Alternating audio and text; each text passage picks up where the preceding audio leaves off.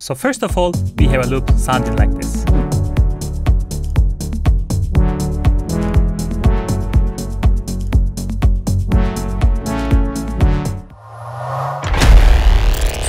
Before we start, we have to clear a couple of things to explain things better when we are talking about the arpeggios. The first thing is the ceiling note. The ceiling note is the highest note on the arpeggio. This is the floor note and this is of course the lowest note in the arpeggio. The central note on the other hand is the note that the other things gravitate towards. And one last thing is where the arpeggio is gravitating towards. And if you take a look at this specific arpeggio, we have upper focus at the first half and the lower focus at the second half. So this type of pattern is called shout and fall. No, it's not something that I created myself, it's actually in the literature. The name derives from arpeggiation oscillating between the ceiling note and the floor note. Let's say our ceiling note is this, and the bottom note is somewhere around here.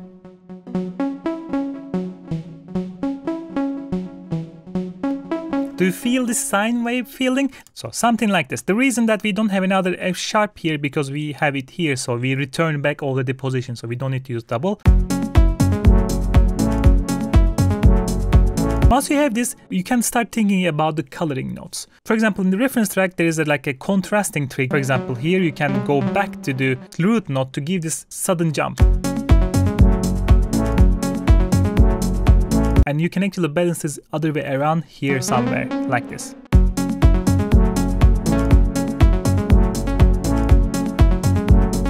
And just feel the between here so that we have this small sine wave right there before. Again. So we are shouting here and we are falling down. We are shouting, we are falling down. I'm using my Analog House Vital preset pack and this preset already has something that is important for this type of style. We have this plucking note, which means that there will be a lot of plucks hits. And if you have delay, you have to duck the delay when those pluck hits comes. And in this preset, I have an envelope zeroing the mix of the delay, so it cuts down every time a new pluck hit comes. Watch out here. Let me solo it so that you can hear a bit better. So the delay is really on the background filling up beautifully, but it's not cluttering the main original placket. So let's go listen full now.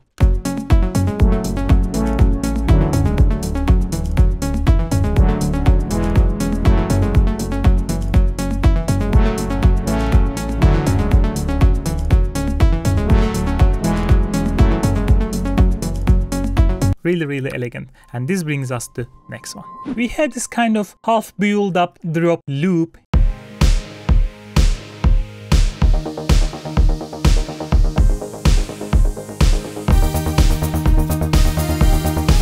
This was a very popular pattern back in the days, it kind of lost its popularity lately. To go for this type of pattern, you should start with a sustained preset sound. Again, I'm using a preset from my Vital House preset pack, sounding like this. So you should start with a super simple melody that is mainly focusing on the ceiling notes. You can move your bass note to give a bit more melody and depth, something like this. So if you put it down, and the only variation is pulling it down to give this a bit like a settling down feeling here.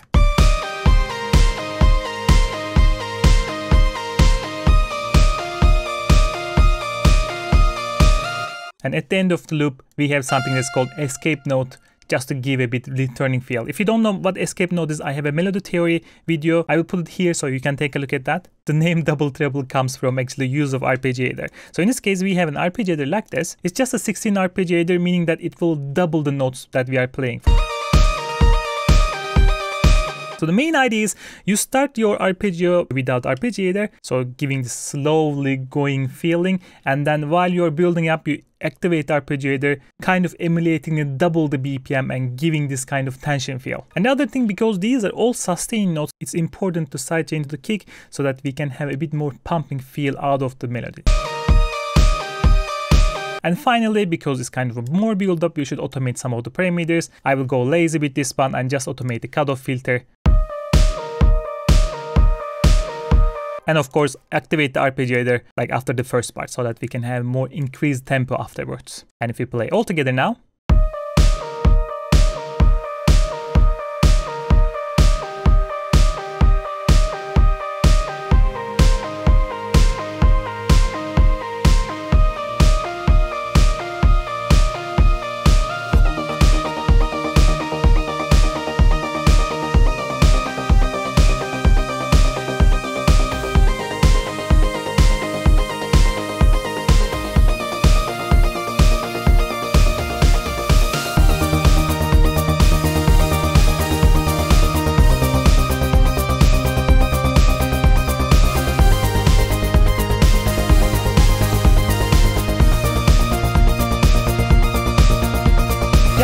cool pattern and this brings us to the next one. So we have this loop.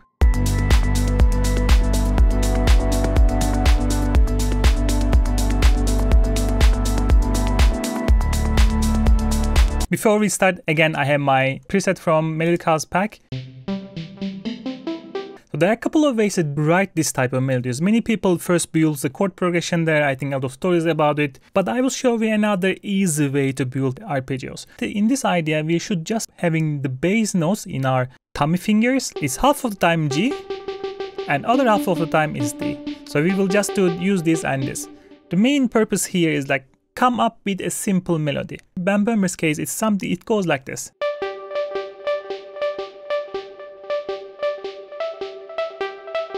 Switch the bass note.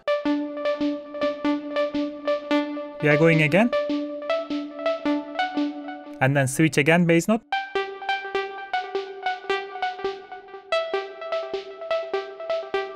Switch the bass note again. Go up.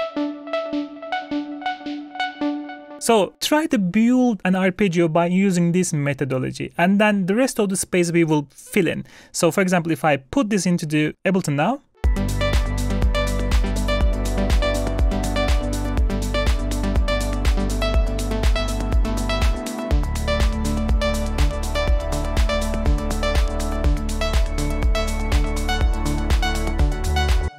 super simple, but you already hear the main melody here, isn't it? Most of the time, what people do is actually move this around a little bit depending on what they feel and feel the octaves in between. For example, put maybe this one, make it did it, kind of the leather. Hence this slow development. The same thing here, let's do it here as well. And then you can just keep using the same technique or you can cheer it up a bit. For example, I think in the band's track he had this kind of B here to fill it up in bit. And if we fill the rest by using applying exactly the same technique more or less, we have this.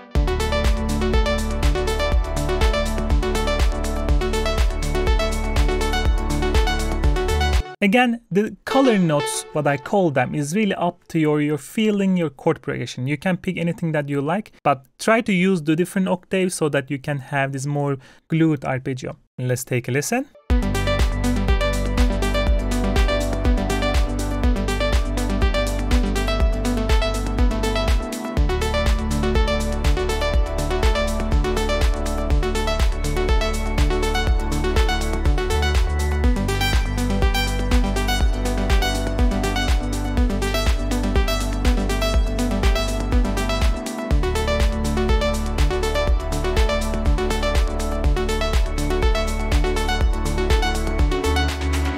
Beautiful. And this brings us to the final piece. This is the most classical way of doing arpeggio and this is the, probably the first thing they teach you when you try to learn a piano. So what you are going to do, use your left hand, just playing the bass note slowly, giving this peaceful vibe.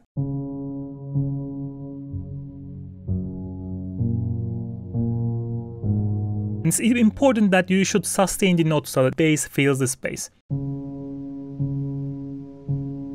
By the way, if you are wondering the sound, this is just Ableton's Grand Piano single sample. A little bit tape, a little bit EQ on top of that, a little bit reverb. When you're building melody on this type, you should aim for pulsating melody. So then, then, then, then.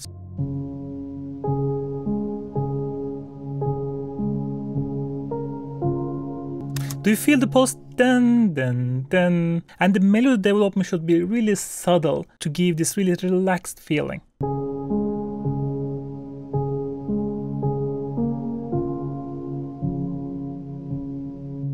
Another important right away here is giving these pauses because we need to feel the piece again. Then this pause really feels before changing the melody. Here probably we will change the melody, right?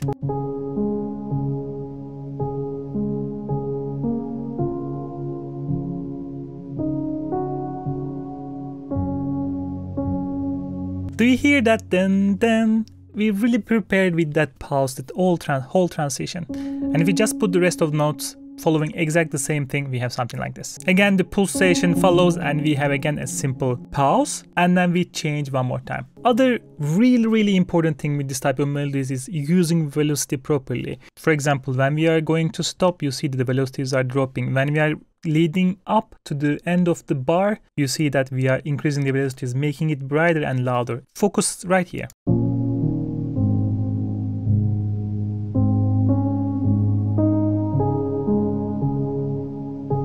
Keeping in the middle, now we go down.